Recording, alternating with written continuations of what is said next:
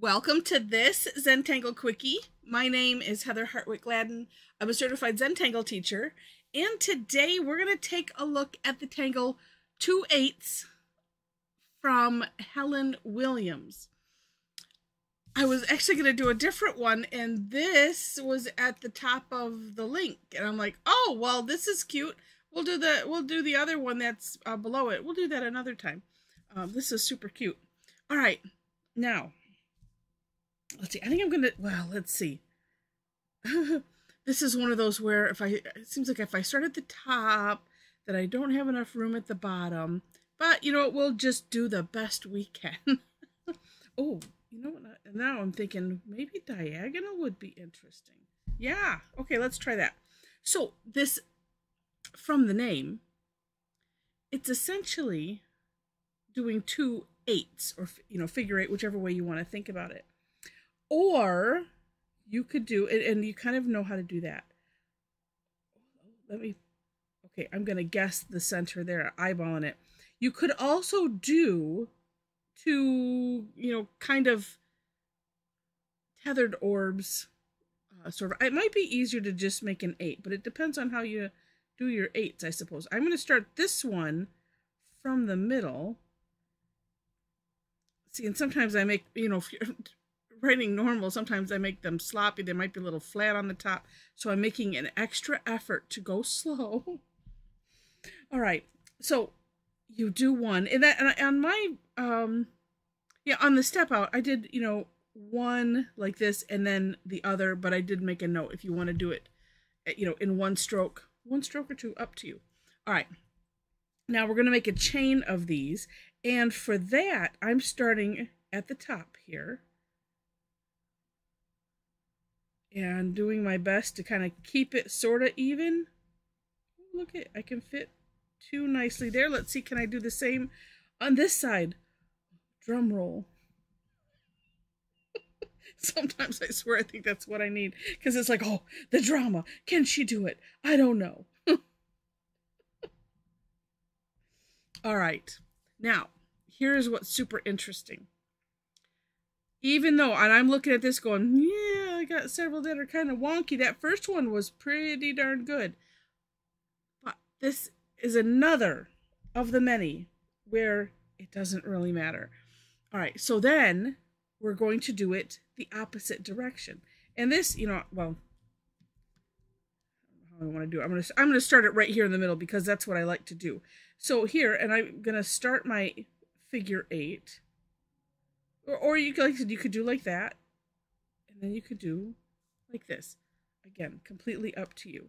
Now, good to keep uh, an idea of where the middle of that is, or just think, okay, I've done it here, skip one, because once once they're kind of all in a line, you you lose track of, you know, of where the center is. Sort of. I mean, you can you can tell if you look right. Okay. So then we're just going to continue to do these. And what's nice is, you know, we're kind of tracing over uh, the centerpieces. So like this one, that's good. that one is kind of weird. So if I do it, tracing over that, and then we trace over this, and even though that one is a little bit bigger than the others, it doesn't matter, right? And then by the time we fill this up, you know, it's all good. Now, what's neat about this one is you could make it a border if you wanted to. Or you could make it a fill-in. And, oh, I'm going to debate on what I want to do. I'm going to make a cross, I think, first. Oh, we'll probably do a fill-in just because that's fun. But I'm going to start here at the center. And so then you're just going to do another row. Or, honestly, however you want to do it. Because you could just have it grow however you want it to grow. It's up to you. All right, so I'm going to start here. it's going to be a fill-in because this is not lining up this way, but that's okay. Oh, see, what I can do, okay, I'll aim it a little bit. Oh, see, like that. Okay.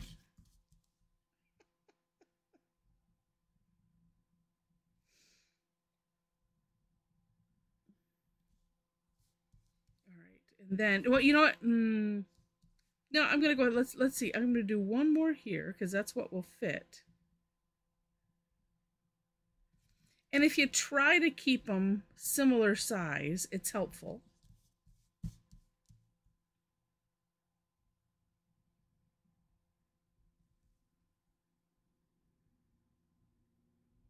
Because then, and this is where I, I did get a little nervous when I was doing it. I'm like, oh, oh my goodness, okay, these are, it's like a, like a puzzle piece. We're to have to see if we can fit it in.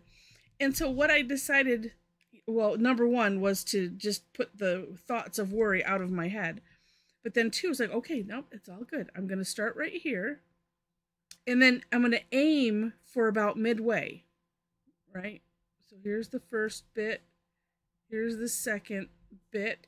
And if it's a little over, a little under the halfway mark, it's not going to matter because when you do the next one, you just have it meet up wherever it's at. It'll be fine. Look at that one. That's funny. All right, let's see. How good can we rescue this one? This will be the this will be the test of this tangle. Uh, you wouldn't even know.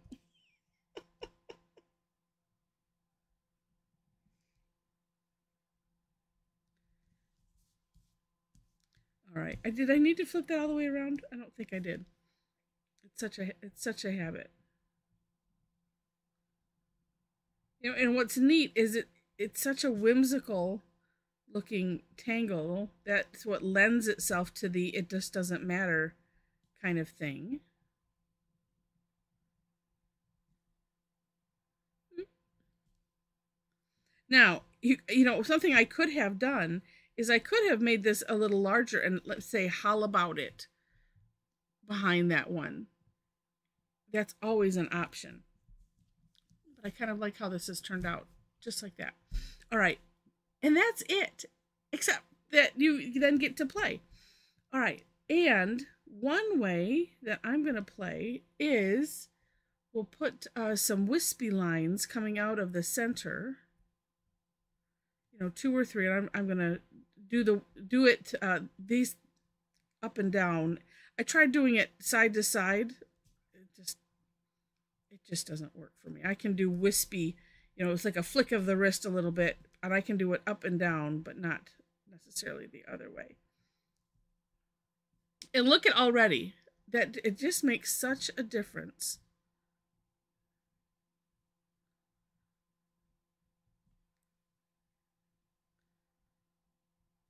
Just thinking on that smaller one, I probably could have just done two, but yeah.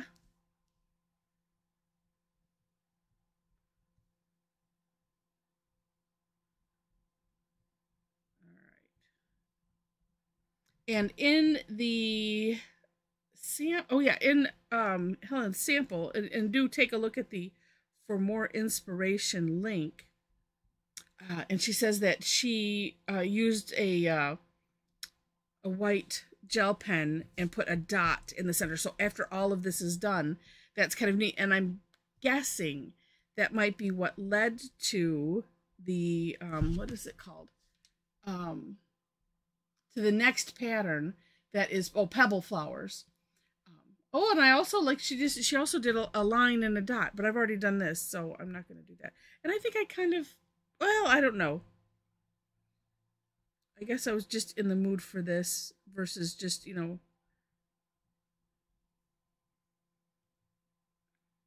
a line and a dot. I don't know. It, you know, it's a it, yeah. I think it's a mood thing.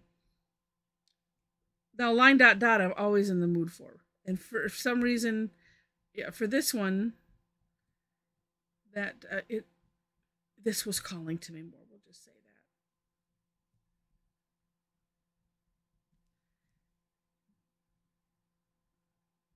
And I was thinking, okay, there's there's stuff that we could do behind these. So you could do, um, like in Helen's sample, she did some you know, straight lines all the way through. That's a lot. I kind of, I don't know, I kind of like it like this. I'm not sure. Could put some therefores or some dot balls. Maybe I'll do that because that would look kind of neat. But there we go. First, though, let's put a little, just a little ball of graphite. I'm not going to do the, the dotting the white in there. I kind of like it this way. But I'm just putting a little bit of graphite in the center and then we'll spread it out in all directions. Like that. And see how it just, it makes that touch of a difference. Now if you did them bigger, I suppose you could probably, you know, fit some on, uh, some graphite on the other end maybe to, to make it look um, you know, bendy is my technical term for that. um, but let's. Ah, here's a. Okay, ten apparently is what I have handy. But it's just it's just cute. Oh, a couple other things. Oh, let's do this instead. Oops, what is that? PN. I don't want that. Because here is something we could aura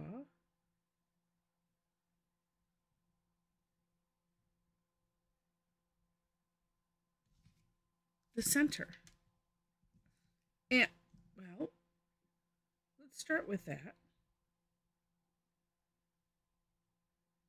I'm just kind of care semi carefully working, you know, to get each little curve in there and, and, and to follow the contour. It's not it's not so bad.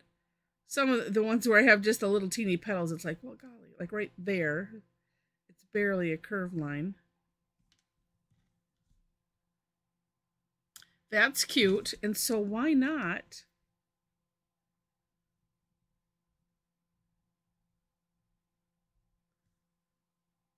Now, okay, I'm going to do that and then decide if I want to connect them.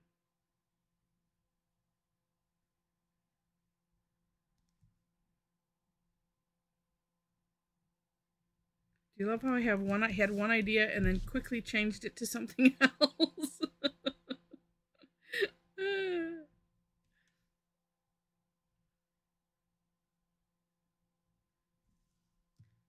oh, I kind of like it. I still could put the, you know, something in the background if we wanted to.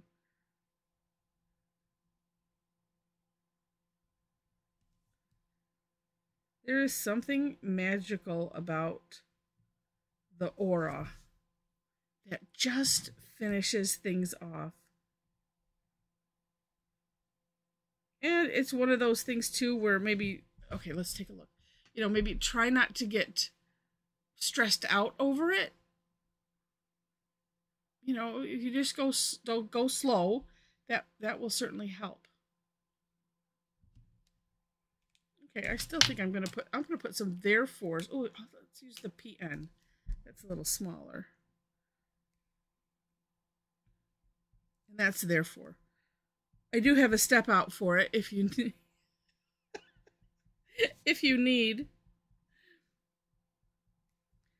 What I find sometimes difficult is is having it be random.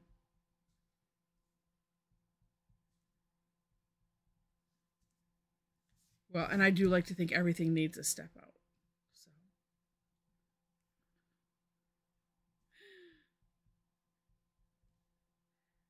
Well, and if nothing else, just to give proper credit to um,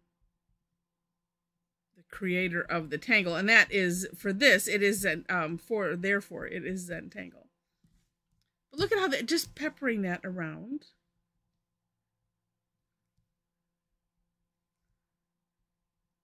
It just makes a little bit of a difference. It's neat. I like it. All right, and I hope you did too. And if you did, please click on the like button.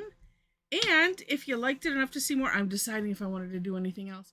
Um, if you liked it enough to see more, would love to have you be a subscriber to the channel. The, in the description section, I mentioned links to the step outs, and I always do my own version and then link to the creator of the Tangle. Um, then below that is my LinkTree where you will find ways to connect with me, other resources. Um, I do have some uh, some shopping links, uh, some affiliate uh, accounts, uh, so you will find that there. I have a new one, and um, just love to check out. I have a new one. it's Amazon, and um, I'm working on adding more stuff. So, eh, you know, oh heck, if you have suggestions, feel free to leave it in the chat. Um, but just you know, for supplies and things like that. So. Also, if you are interested in tangling with me and a bunch of other uh, crazy tangle addicts, you can come and join us on Thursdays. um, I think it's in September. There is just one Thursday that I'm going to have to shift, and then well, I'll have to look forward to the uh, the holidays. But for the most part, uh, it's always on Thursday. It's called Tangle Time. I'll pick a tangle or two and we just have fun with it. Could have been something like this.